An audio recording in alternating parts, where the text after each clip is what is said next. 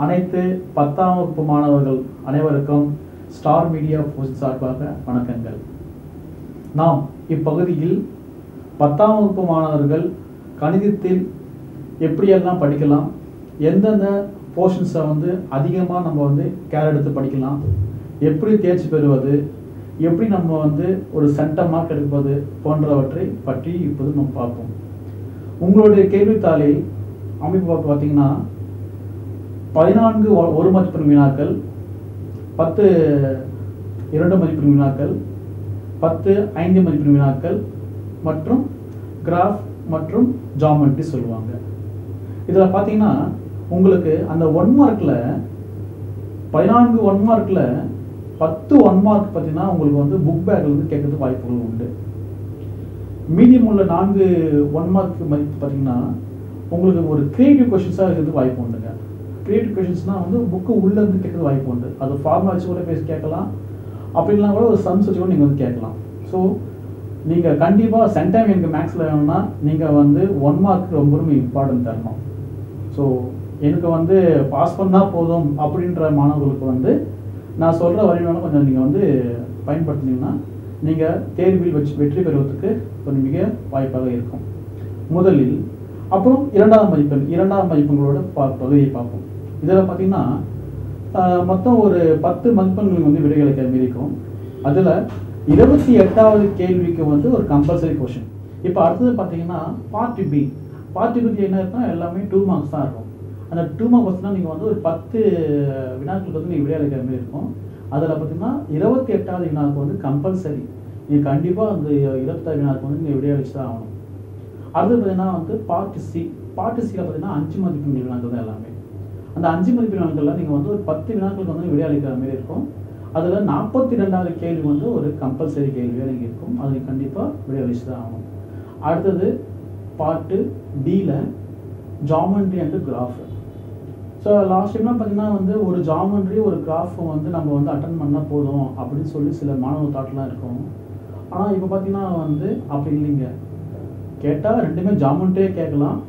இல்லை ரெண்டும் கிராஃபும் கேட்கலாம். அப்படின்னா இல்லைன்னா ஜாமெண்ட்ரி ஒன்றும் ஒரு கிராஃப் ஒன்றும் கேட்கலாம். ஸோ மாணவர்களாகிய நீங்கள் அனைத்து பகுதிகளுக்கும் நீங்கள் வந்து தயாராக இருக்கணும். இது ஒரு விஷயங்க. அப்புறம் இன்னொரு விஷயம் போன ஆண்டுகள்லாம் வந்து எல்லா பாடத்துக்கும் வந்து ப்ளூ பிரிண்ட்ன்ற ஒரு அமைப்பு இருந்ததுங்க. ப்ளூ பிரிண்ட்னா எந்தெந்த பாடத்தில் என்னென்ன கேள்விகள் அதிகமாக கேட்கப்படும் பாட வேலைன்னு கொடுத்துருந்தாங்க.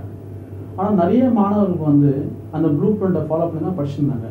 ஆனால் இந்த ஆண்டு முதல் நியூ சிலபஸின் படி ப்ளூ பிரிண்ட் ஒரு வாய்ப்பே கிடையாது. ஏன்னு கேட்டுனா நம்ம மாண நமது மாணவர்கள் வந்து இந்த ஒரு ஹையர் ஸ்டடீஸ் போகும்போது ஒரு நீட் எக்ஸாமினேஷன்ஸ் ஜேஇ எக்ஸாம்ஸ் போகும்போது அவங்க வந்து அந்த கணித அறிவு கொஞ்சம் குறைவாகுன்னு சொல்கிறாங்க அதனால வந்து அரசாங்கம் என்ன பண்ணுச்சுன்னா நீங்கள் வந்து பாடப்புத்தகம் ஃபுல்லாக படிங்க நாங்கள் எது வேணால் கேள்வி கேட்போம் அப்படின்னு சொல்லியிருக்காங்க.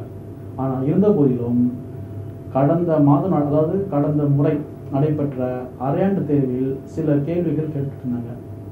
அரசாங்கம் என்ன சொன்னாங்கன்னா அரையாண்ட தேர்வு கேள்வித்தாள் எப்படி இருக்குமோ அதே போன்று தான் உங்களுடைய அர- அரசு தேர்வு கேள்வியும் அப்படிதான் இருக்குன்னு சொல்லியிருந்தாங்க. ஸோ அப்படி பார்க்கும்போது நான் சில குறிப்புகள் எடுத்திருந்தேன். அந்த குறிப்புகள் பார்த்தீங்கன்னா இந்த பாட வரியாக பார்ப்போம் இப்போ நம்ம. முதல்ல வாங்க. ஃபஸ்ட்டு பார்த்தீங்கன்னா ஜோமெண்ட்ரி வடிவியல் சொல்லுவாங்க. அந்த வடிவியலில் பார்த்தீங்கன்னா வந்து கண்டிப்பாக நீங்கள் இம்பார்ட்டன்ஸ் கொடுத்து தான் ஆகணும். ஏன்னா அதிலிருந்து ஒரு ஒன் மார்க்கு ரெண்டு டூ ஒரு ஒன் ஒரு டூ மார்க்கு ஒரு ஃபைவ் மார்க்கு ஒரு எயிட் மார்க்ஸு மொத்தம் பதினான்கு பதினாறு மார்க்கில் மார்க்கில் வந்து கேட்குறாங்க மதிப்பெண்கள் கேட்குறாங்க அது நீங்கள் வந்து கொஞ்சம் நல்லா படிங்க. ஏன்னா வடிவிலிருந்து ஒரு பெரிய பாட்டெலாம் கிடையாது. ஒரு சின்ன பாட்டு ஒரு லெசன் தான் இருக்கும். அந்த லெசன் நீங்கள் ஃபுல்லாக நீங்கள் படித்தாவே உங்களுக்கு கண்டிப்பாக உங்களுக்கு அந்த பதினான்கு மார்க்கில் பதினாறு மார்க்கில் நீங்கள் வந்து வாங்குறதுக்கு ஒரு மிகப்பெரிய வழியாக இருக்கும். அதனால் வந்து இந்த வடிவியல் பாடத்தை வந்து விட்டுறாதீங்க. அந்த ஜியோமெட்ரி சொல்லுவாங்க. அந்த வடிவியல் பாடம் வந்து ரொம்ப முக்கியமான ஒரு பாடம். அது நீங்கள் பார்த்துங்க அடுத்தது பார்த்தீங்கன்னா வந்து கிராஃபு ஸோ நான் ஆல்ரெடி நான் சொல்லியிருக்கேன். உங்களுக்கு வந்து கிராஃபு கேட்டாலும் கேட்கலாம் கேட்கலாமல் இருக்கலாம். அப்படி சொல்லியிருக்கேன் நான்.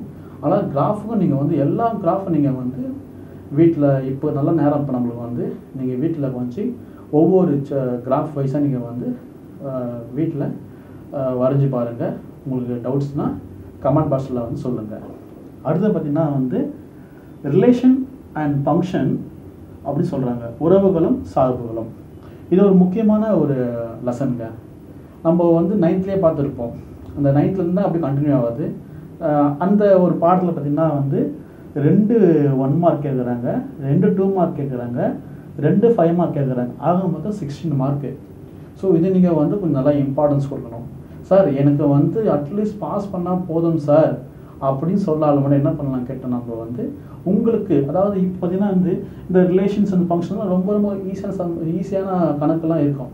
அதை நீங்கள் போட்டு ப்ராக்டிஸ் பண்ணுங்கள் அதே போல் பார்த்தீங்கன்னா இந்த ப்ராப்ளம்லாம் இருக்கும். நான் அதை பற்றி நான் அப்புறம் சொல்கிறேன் நான் உங்களுக்கு வந்து. அடுத்தது பார்த்தீங்கன்னா வந்து numbers and sequences numbers and சீக்வன்ஸில் பார்த்தீங்கன்னா வந்து ஒரு மதிப்பெண்கள் ரெண்டு கேட்குறாங்க டூ மார்க்ஸ் ஒன்று கேட்குறாங்க ஃபைவ் மார்க்ஸ் ஒன்று கேட்குறாங்க ஆக மொத்தம் ஒன்பது மதிப்பெண்கள் கேட்குறாங்க இது வந்து பார்த்திங்கன்னா வந்து அந்த நம்பர்ஸ் அண்டு சீக்வன்சஸில் பாடத்தில் உள்ள கேள்வி பதில்கள். அடுத்து பார்த்திங்கன்னா வந்து அல்ஜிபுரா ஸோ நிறைய மாணவர்கள் வந்து அல்ஜிபுராவினாவே கொஞ்சம் கடினமான பகுதி சொல்லுவாங்க. ஆனால் அல்ஜிபுரா பார்த்திங்கன்னா வந்து நீங்கள் ஒரு குறிப்பிட்ட பாடத்தை மட்டும் பாடுங்க. ஃபார் எக்ஸாம்பிள் காரணி காரணிப்படுத்துக ஃபேக்ட்ரேஷன் சொல்லுவாங்க ஆங்கிலத்தில் வந்து. காரணி படுத்துக்க ஸோ அது போலலாம் வந்து அந்த சம்ஸ்லாம் வந்து வீட்டில் வந்து நீங்கள் வந்து ப்ராக்டிஸ் பண்ணி பாருங்கள் உங்களுக்கு கண்டிப்பாக உங்களுக்கு வந்து புரியும். எங்கள் மீடியம் சார்பாக நாங்கள் வந்து உங்களுக்கு வந்து அந்த கணிதம் சம்பந்தமாக உங்களுக்கு எல்லா வகையும் நாங்கள் செய்கிறோம் அடுத்து பார்த்தீங்கன்னா வந்து கோஆர்டினேட் ஜாமெண்ட்ரி ஆயத்தொலைவு வடிவியல் சொல்லுவாங்க. ஸோ இதில் பார்த்தீங்கன்னா வந்து ரெண்டு மதிப்பு ஒரு மதிப்பெண்கள் வந்து ரெண்டு மார்க் ரெண்டு கேட்குறாங்க. ரெண்டு மதிப்பெண்கள் ஒன்று கேட்குறாங்க. அஞ்சு மதிப்பெண்கள் வந்து ஒன்று கேட்குறாங்க.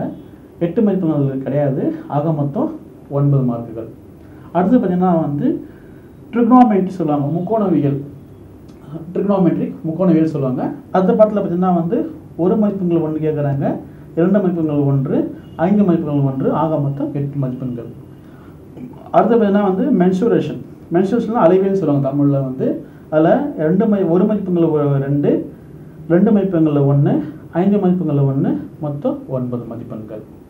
அடுத்து பார்த்தீங்கன்னா வந்து ஸ்டாட்டிஸ்டிக்ஸ் அண்டு ப்ராபபிலிட்டி புள்ளியலும் நிகழ்த்தகவல்னு சொல்லுவாங்க. அதில் ரெண்டு ஒன் மார்க்கு ரெண்டு ஃபைவ் மார்க்கு ரெண்டு டூ மார்க்ஸு ஆக மொத்தம் சிக்ஸ்டீன் மார்க்கு இதுதாங்க உங்களுடைய ஸ்ட்ரக்சர் நீங்கள் வந்து இதை நீங்கள் வந்து ஃபாலோ பண்ணி படிக்கலாம்.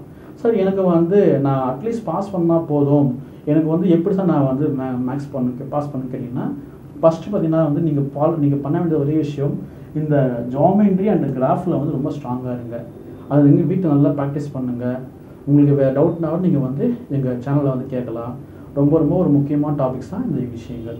ஸோ இந்த பதினாறு ப்ளஸ் ஒரு எட்டு எவ்வளோ ஆச்சு பார்த்தீங்கன்னா வந்து இருபத்தி நான்கு மார்க்கு நீங்கள் எவ்வளோ எடுத்தால் பாஸு தேர்ட்டி ஃபைவ் தான் நீங்கள் வந்து பாஸு அப்புறம் பார்த்தீங்கன்னா வந்து இந்த ரிலேஷன்ஸ் அண்ட் ஃபங்க்ஷன்ஸ் இது ரொம்ப ரொம்ப ஈஸியானதுங்க நீங்கள் நீங்கள் வந்து ஒன்பதாவதுலேயே படிச்சிருப்பீங்க. இது தொடர்புகள் அதாவது யூனியன் அண்டு இன்டர்செக்ஷன்லாம் படிச்சிருப்பீங்க. அது சம்மந்தமாக தான் வரும். ஆனால் கொஞ்சம் எக்ஸ்ட்ரா அந்த கார்டிஷன் பிரிக்கலில் பேஸ் பண்ணி சம்ஸ்லாம் வரும். அதில் நீங்கள் பார்க்கலாம். அடுத்து பார்த்தீங்கன்னா வந்து இந்த மென்சுரேஷன் மென்சுரேஷன் பார்த்தீங்கன்னா வந்து ரொம்ப கஷ்டம்லாம் கிடையாதுங்க. ரொம்ப ரொம்ப ஈஸியானது தான். அது கொஞ்சம் ஃபார்முலாஸ் இருக்கும். அந்த ஃபார்முலா நீங்கள் படிச்சிட்டாவே சம்ஸ் நீங்கள் ஈஸியாக போட்டுடலாம். இப்போ அந்த சர்க்கிளுக்கு என்ன ஃபார்முலா ட்ரையாங்கிளுக்கு என்ன ஃபார்முலா ஸ்கொயருக்கு என்ன ஃபார்முலா அதேமாரி தான் அந்த சம்ஸ் இங்கே பேஸ் பண்ணி தான் இருக்குங்க. நீங்கள் அந்த கரெக்டான முறையை நீங்கள் பார்த்துட்டிங்கன்னா அந்த சம்ஸ் உங்களுக்கு ஈஸி ஆனால் அதில் முக்கியமாக பார்த்தீங்கன்னா ஃபார்முலா தான். நீங்கள் அந்த ஃபார்முலா டெரைவ் பண்ணாவே உங்களுக்கு வந்து ஆன்சர் வந்துடும் உங்களுக்கு வந்து. வெரி வெரி இம்பார்ட்டன்ட் பார்த்தீங்கன்னா வந்து ஸ்டாட்டிஸ்டிக்ஸ் அண்டு ப்ராபபிலிட்டிஸ் இந்த ப்ராபபிலிட்டிலாம் பார்த்தீங்கன்னா வந்து ஒரு கேம் மாரி இருக்குங்க. இந்த கேமை பேஸ் பண்ணி தான் இந்த எல்லாமே இருக்கும். ஒரு பகடை காய் சொல்லுவாங்க. அதுக்கப்புறம் வந்து சீட்டு கட்டு சொல்லுவாங்க. அதில் மூலிமா சம்ஸ் உங்களுக்கு வாய்ப்பு உண்டு. அதுக்கும் ஃபார்முலாம் தேவையில்லைங்க. அந்த ஃபார்முலா ஜஸ்ட்டு நீங்கள் அந்த சம்ஸை நீங்கள் பார்த்தாவே நாங்கள் நடத்துவோம். நான் நீங்கள் சம்ஸை பார்த்தாவே உங்களுக்கு வந்து ஈஸியாக புரிய ஆரம்பிச்சிடும் ஸோ எனக்கு வந்து ஜஸ்ட்டு பாஸ் பண்ணால் போதுங்க சார் அப்படி சொல்கிற மாணவர்கள் என்ன பண்ணலான்னு கேட்டால் நான் சொன்ன வழிமுறை நீங்கள் வந்து பின்பற்றலாம். இல்லை சார் எனக்கு வந்து நான் நல்லா மார்க் எடுக்கணும். நான் வந்து ஒரு செவன்ட்டி எயிட்டி நைன்ட்டி எடுக்கணும் சார்னா இந்த முறைகள் நீங்கள் வந்து ஃபாலோ பண்ணிங்கன்னா நான் சொல்கிற விஷயங்களை ப்ளூ பண்ணுற மாதிரி நீங்கள் ஃபாலோ பண்ணிங்கன்னா ஓரளவுக்கு நீங்கள் நல்லா நீங்கள் ஸ்கோர் பண்ணலாம். ஆனால் கண்டிப்பாக நீங்கள் வந்து ஒவ்வொரு முறையும் வந்து உங்களுடைய வீட்டில் நீங்கள் உட்காந்து சம்ஸை நீங்கள் வந்து ட்ரை பண்ணி பாருங்கள் ஓகேங்களா அடுத்து பார்த்தீங்கன்னா வந்து எனக்கு நூறு மார்க் வேணும் சார் நான் என்ன சார் பண்ணணும்? அப்படின்னு சொன்னீங்க கேட்டிங்கன்னா நான் சொல்கிற வழிமுறை நீங்கள் ஃபாலோ பண்ணுங்கள் அது இல்லாமல் நான் முன்னே சொன்ன மாதிரி கிரியேட்டிவ் கொஷின்ஸ் கொடுத்தீங்களா? மொத்தம் ஒரு பதினான்கு ஒன் மார்க்கில் பத்து ஒன் மார்க் பார்த்தீங்கன்னா உங்களுக்கு வந்து புக் பேக்லேருந்து கேட்கறது வாய்ப்பு உண்டுங்க. மிச்சம் நாலு ஒன் மார்க் பார்த்தீங்கன்னா வந்து புக் பேக்லேருந்து தான் கேட்பாங்க.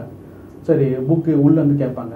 அப்போ நீங்கள் என்ன பண்ணுங்க கேட்டிங்கன்னா படிக்கும் போதே நல்லா தெளிவாக படிச்சுங்க நல்லா படிச்சிட்டிங்கன்னா கண்டிப்பாக உங்களுக்கு சென்டம் மதிப்பெண் வர்றதுக்கு ஒரு முக்கியமான வாய்ப்பு அப்படின்னு நினைக்கிறேன். ஓகேங்களா? ஸோ மாணவர்களாகிய நீங்கள் இந்த நான் சொன்ன வழிமுறைகள் நீங்கள் வந்து பின்பற்றுங்கள். மாணவர்கள் உங்களுக்கு எதுனா டவுட் இருந்ததுன்னா நீங்கள் வந்து கேட்க கமெண்ட் பாக்ஸில் கேட்கலாம். ஸோ நான் அகைன் அகைன் சொல்கிறேன் இந்த ஸ்லோலானஸ் மாணவர்களுக்கு வந்து இந்த ஜோமெண்ட்ரியும் கிராஃபு ரிலேஷன்ஸ் அண்ட் ஃபங்க்ஷன்ஸு அப்புறம் வந்து ஸ்டாட்டிஸ்டிக்ஸ் அண்டு ப்ராபபிலிட்டிஸு அப்புறம் கோஆர்டினேட் ஜாமெண்ட்ரி இது நல்லா போட்டு பாருங்கள் உங்களுக்கு கண்டிப்பாக வெற்றி உங்கள் கையை தேடி வரும். அனைவருக்கும் ஸ்டார் மீடியா ஃபோர் சார்பாக மீண்டும் நன்றி தெரிவித்துக் கொள்கிறேன்.